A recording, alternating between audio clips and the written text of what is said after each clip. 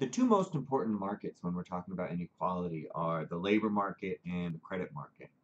And the idea is that because we start at different positions, uh, that often influences where we end up. Not always, of course. Everybody can move up and down the sort of income distribution. People who are born poor can become, you know, owners of successful firms. Um, but there's a lot of um, benefit to starting out as a wealthy individual, right? So here in this graph, we have our wealthy individuals in blue, and they can both become lenders and employers because they are they have the assets uh, with which to start firms or lend money. Um, then we have borrowers here. Now, if you are successful, you can borrow, you can become uh, an employer yourself. Um, whereas if you are unable to borrow uh, or you are unwilling to borrow, then you are more likely to become an employee and of course, some employees will be employed and some will be unemployed. Um, and of course, being unemployed is going to mean that your income is very low, right? You're going to have to depend either on any savings, if you have any, or on the government. So let's think about sort of different markets and how they can uh, either increase or decrease inequality. So just a reminder of the Lorenz curve and the Gini coefficient. So the Lorenz curve shows the distribution of either income or wealth. We're going to look at income first here. And it lines up the uh, people based on income from poorest to richest, going from left to right, and then the cumulative share of income going from uh, bottom to top. So it was always 100% and 100% in the top right corner, and 0%, 0% in the bottom left corner we have a 45 degree line going from the bottom left to the top right that represents complete equality if everybody has the same. But as we know, not everybody does have the same, and so we can measure the Gini coefficient as the area uh, between the 45 degree line and the Lorenz curve divided by the entire triangle under the 45 degree line. And so what we're going to talk about is uh, different institutions, different endowments, uh, different technologies, different um, levels of education and how that can affect uh, inequality. So here we're looking at uh, the effect of uh, making it easier to fire workers. And so these are all just examples, right? These are not based on real data, um, but they are based on um, the idea that uh, if, you know, if people are can be fired more easily than they have uh, fewer rights and they might end up uh, being more unemployed. So here we have an initial Gini coefficient of 0.36. We have 10% uh, of the people are unemployed, right? So they have no income in this model, right? They would probably have some disposable income um, from the government in, in real life. And then we have workers, and workers are all earning the same, so we have a straight line here, and they go from 10% to 90%. Uh, and then 10% are owners, and they're getting, they all have the same income as each other, but a much steeper income. And so the initial Gini coefficient in this example is 0.36, which is the shaded area divided by the entire triangle under the 45 degree line. Now, if we make it uh, easier to fire workers, then the unemployment rate won't necessarily change, right? It won't necessarily go up, but it means that wages are likely to fall. And so in this case, wages fall from 60% of income to 48% of income, meaning that owners get 52% of income instead of 40%. And that increases the Gini coefficient, in this case, from 0.36 to 0.47.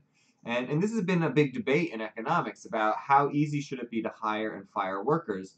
Uh, and of course, if you just focus on firing workers, if it's really hard to fire workers, then firms will be a little nervous about hiring them in the first place.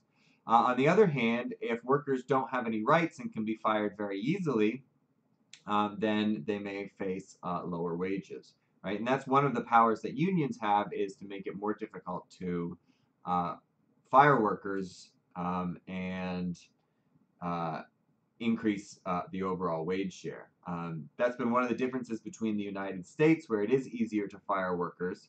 Uh, most employees are called at-will employees, and they can be fired basically for any reason. Um, whereas countries in Europe, it's generally harder to fire workers. And so uh, that may be one of the reasons that uh, wages have not grown very quickly in the United States uh, over the last 40 years. So here's another example. We're going to look at education. And so we start off in the same place. So 10% are unemployed, uh, 90, the next 80% are working, they get 60% of income, and then the last 10% are owners, and they get 40% of income. So what happens if the workers become more educated? Well, that means their productivity is going to increase, and that means that their wage should increase as well. And so in this case, uh, the unemployment rate falls. We can think of, you know, moving up the wage curve as productivity uh, and the profit curve shift up. And because they are more productive, they get a higher share of income. So now the unemployment rate falls to 5%. Uh, workers now get 73 and three quarters uh, of the income, and owners get the remaining 26 and a quarter percent of income. And so this is definitely one thing that has happened, and we definitely see that um, more educated workers uh, around the world, but especially in the United States, get paid more. So college educated workers get paid 60 to 80% more than high school uh, educated workers. Another possibility is the immediate effect of labor saving technology. So we talked about this um, in more detail in chapter 15, and we said, you know, labor saving technology, while it's generally good for workers in the long run, might lead to uh, higher unemployment and lower wages in the short term and can definitely have a negative impact on some workers. And so if that's the case, if we get this increase in unemployment due to the labor saving technology, here the unemployment rate increases from 10% to 20%, wages go down, so we have a flatter wage curve, um, and the owners who have implemented this labor saving technology now get a larger share of income and inequality increases. And so this is definitely, I feel like, where we are right now. Um, and people are really nervous about introducing the introduction of labor saving technology and what it's going to do to inequality, what it's going to do to the unemployment rate. And it still remains to be seen whether or not that's going to uh, have the positive effects that it always has had in the past, or whether we're at a different type of turning point um, for the future. So the last one we want to look at is um, when borrowers are excluded from the credit market. And so here we have, um, don't worry about the, the I in the row, we're not worrying too much about that, but here nobody is excluded um, and everybody can borrow. If we get a group that are excluded uh, and can't borrow, then they get less income and more income goes to the lenders and inequality increases.